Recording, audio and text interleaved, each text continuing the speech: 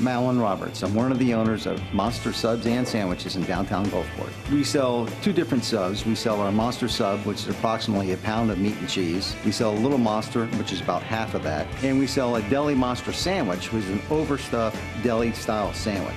At Monster Subs, we sell meat wrapped by bread. Our most popular item is the Italian sub. Our Italian sub is phenomenal, and the people just keep coming back for it. With all the things we have to worry about running a business, our beverage service is not one of them. Allen Beverages has been a godsend for us, and we really appreciate the service from Allen Beverages. They have been wonderful on pricing, which is a very important part of operating a very small business. Quite a few of our customers love the Pepsi products.